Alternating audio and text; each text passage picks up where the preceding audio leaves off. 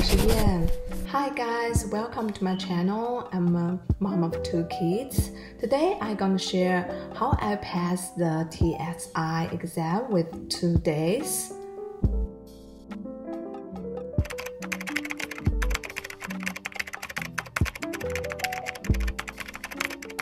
I'm a homestay mom. Before that, I running my business 10 years.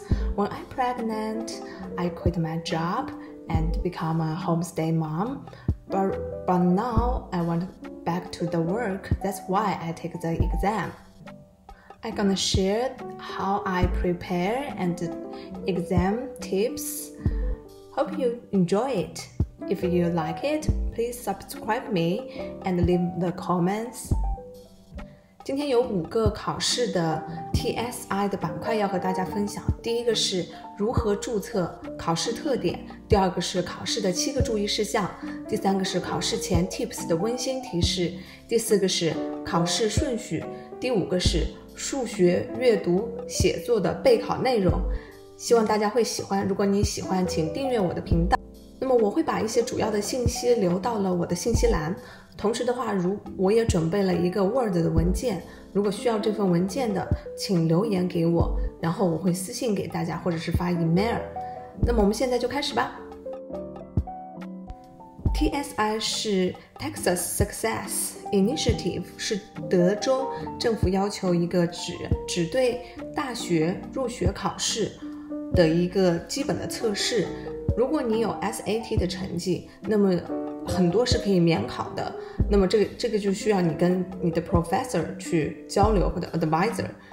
那么这个也针对像我这样的妈妈想在进入工作之前的一个学习，那么你就可以叫称为 continue education。如果你想你已经是没有学习多年，同时的话又想更快的进入学习，那么也可以参加这个考试。那么这个是大学入门的考试。我给大家在这里展示的所有文件都是原件，那么遮挡了我的一些私人的信息。那么展示原件的原因是，我想给大家心里有底气，看到这些东西以后，您是熟悉的。那么我们就开始吧。接下来，如何注册学生账号，并且获得学校 ID 的同时又缴费、报名，然后进入考试。那么完成了这五个步骤呢，你就可以。正式的开始考试了。那么我现在开始分解每个步骤。首先，注册你的学生账号。你去到报名处就拿到一个你的州的一个学校的叫做 Checklist for First-Time College Students 的一张 paper。那么它就会标明你有十项工作需要完成。那么你可以在家的电脑完成，也可以在学校的。Registration 的 center 去完成。那么这张蓝色的纸呢，就是你的一个 checklist for first-time college students。那么按照十个步骤完成呢，特别在这儿要注意的是，拿到你的 college 的 ID，这个 ID 是我展示给大家看到的这个粉色的这张纸。那么这张纸一定要保留好了，因为它有你的身份的号码。相当于在学校的一个身份证，在哪里都是通用的。那么同时，他会给你一个专门学校的一个 email，这个也是要收收纳好的。同时，要把邮件的密码一定要记住。注册完你的学生 ID 就可以去缴费，缴费是 TSI 的考试的缴费是二十九美金。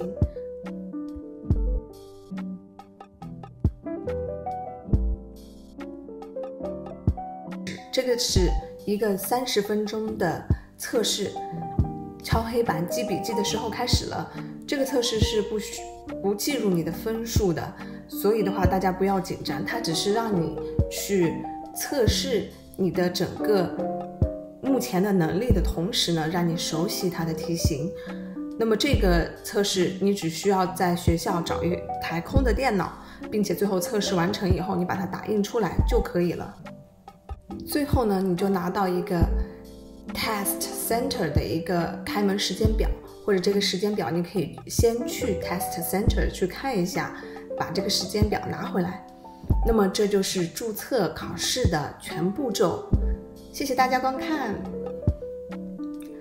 那么跟大家开玩笑的，接下来和大家分享考试七个注意事项。那么第一个注意事项是，考试是不计时的，一般考五个小时，但必须留足四小时以上。因为 test center，如果你去晚了，他不开门，也就是说他不让你进去。如果你没有留足四小时，那么第二个要注意的是，不可以带手机、电子表。考试中心门口有一个柜子，有个 locker，你可以把你的东西锁在里边。第三个是。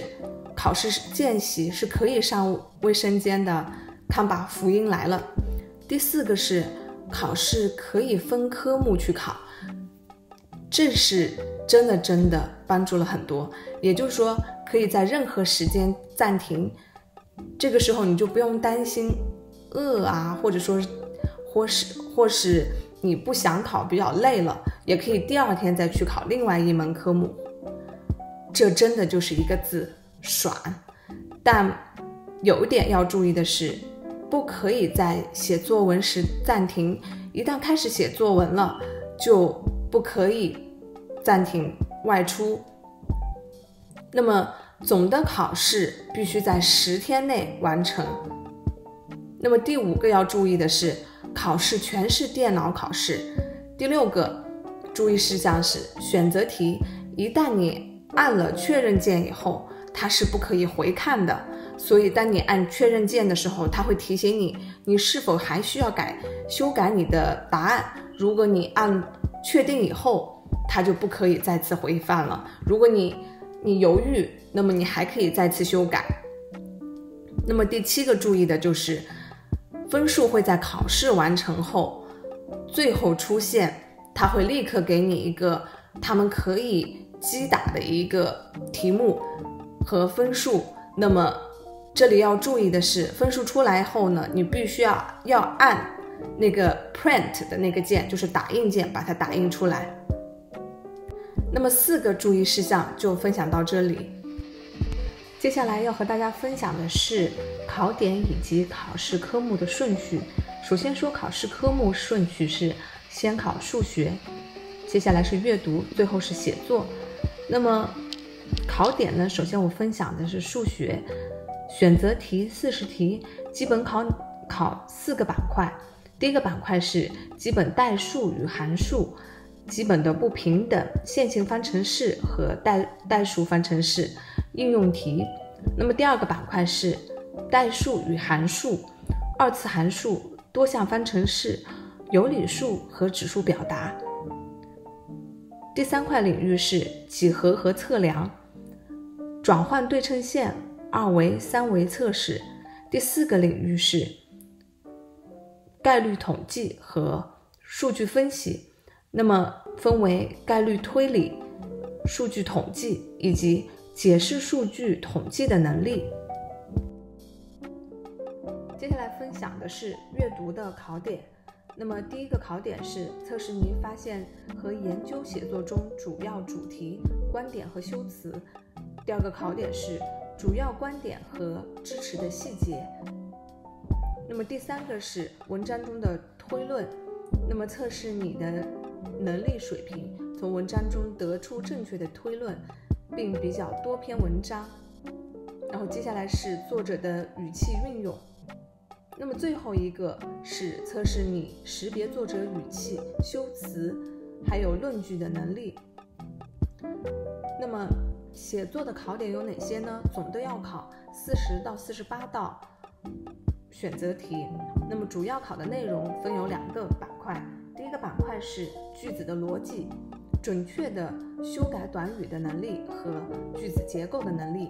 那么特别是测试长句和逗号的拼接，不正确标点符号，句子和平行句子，以及从属关系和协调能力。那么接下来是写作，那么这个论文主要是有三百到六百个字，那么一般我会分为五个段落来写。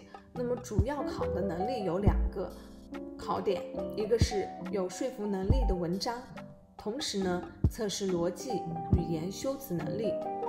那么要注意的是，在开始写作之前，它是不能暂停，也就是说你不能上卫生间等等。所以这里我再强调一回。考试的这栋楼的名字，然后呢，现在我们就从要进入这个主考的大楼，它的测试中心就是考试中心。进来以后呢，它的右边是开始交钱的，然后，然后另外一边呢是它的书籍的小卖铺，然后就上上二楼进入它的测试中心。那么最后呢，就是我现场录制的一个路径分享。那么，请所有的同学，如果在考试之前必须提前三十分钟进入学校，熟悉一下整个操作和整个路径。那么，希望大家早早的就脱离 TSI，同时呢，be brave。如果有梦想，那么哭着也要把它做完。那么，谢谢大家，谢谢大家观看，欢迎订阅我的频道，拜。